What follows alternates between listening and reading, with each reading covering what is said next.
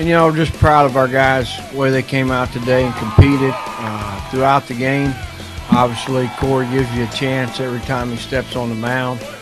Uh, you know, and, and, just more than anything, uh, just glad we got that one under our belt. Looking forward to tomorrow. I think it's very important to, to get a lead in the beginning of the game so you can uh, uh, build some confidence and momentum uh, for the pitcher and for your defense.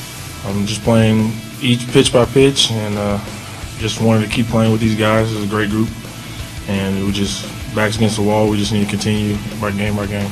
I mean, it's a lot of confidence. I mean, TCU is a, a good organization, and I guess uh, it builds momentum for tomorrow. And but we still got to focus and uh, one game at a time and one pitch at a time. We've got a great opportunity right now that's uh, right in front of us, and I do know that if uh, we're granted the opportunity to play, uh, whoever we're playing, is, and I mean the Big 12, every team in the league, not looking forward to game one because, I mean, our league is a pitching rich league, top to bottom, and uh, there's good baseball teams in this league.